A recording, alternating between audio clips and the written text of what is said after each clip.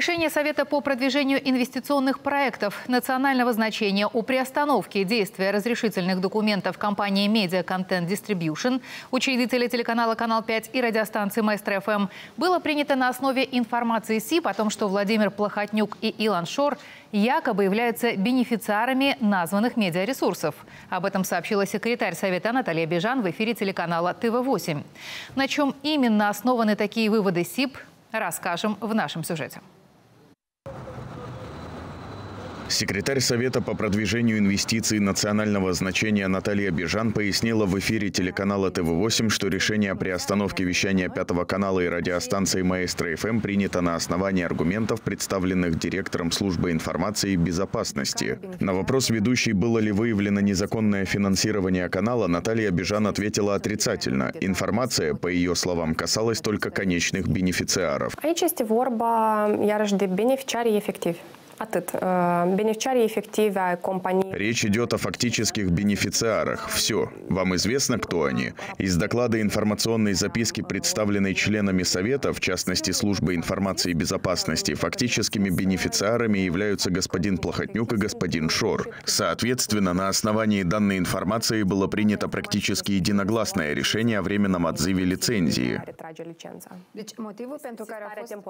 20 марта Совет по продвижению инвестиционных проектов национального значения принял решение о приостановке в качестве превентивной меры действия разрешительных документов компании SRL Media Content Distribution, которая является учредительницей телекомпании «Канал 5» и радиостанции «Маэстро FM». Официальный документ был отправлен компании 22 марта. В нем сообщается, что директор СИП Александру Мустяцу уведомил членов Совета о выявлении связи компании SRL Media Content Distribution с группой «Плохотнюк-Шор». Данные службы указывают на то, что фактическими бенефициарами «Канал 5» являются Владимир Плохотнюк и Илон Шор, исходя из следующих соображений. Редакционная политика и медиа-контент телеканалов «Хоризонт ТВ», «Прайм ТВ» и «Публика ТВ», лицензии на вещание которых были приостановлены решением Совета по продвижению инвестиционных проектов национального значения от 27 декабря 2023 года, перешли к телеканалу «Канал 5». Адрес редакции администратора телеканала «Канал 5» улица Гиочейлор и идентичен адресам «Канал 2», «Канал 3», «Прайм» и «Публика ТВ». Номер телефона администратора, внесенный в реестр поставщиков телемедиауслуг Совета по телерадиовещанию, идентичен контактному номеру администраторов «Канал 2» и «Канал 3». Принимая во внимание эти данные, господин Мустяца предложил приостановить действие лицензии на вещание компании Content Distribution на период времени, необходимый для сбора и проверки Советом информации о заявленных несоответствиях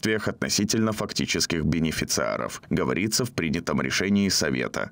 Отметим, что наш телеканал не имеет ничего общего с медиавещателями, названными главой СИП. На пятом канале работают сотрудники, ранее работавшие на других каналах, причем не только перечисленных СИП. Это естественный процесс на медиарынке, который испытывает большой дефицит профессиональных кадров. Некоторые журналисты меняют место работы вместе со своими авторскими проектами, и это не запрещено законом. Но это не означает миграции редакционной политики. Что касается адреса, по которому расположены редакции и студии, то мы фактически арендуем помещение и оборудование у ранее работавшего здесь холдинга GMG. Но эти помещения пустовали, и наши коммерческие отношения закреплены в соответствующих документах. При этом Пятый канал далеко не единственный арендатор. Что касается контактов администратора компании, то реестр СМИ, на который ссылается глава СИП, является общедоступным документом, опубликованным на сайте Совета по телевидению и радио, из которого легко убедиться в том, что предоставленная мустяция информация не соответствует действительности действия.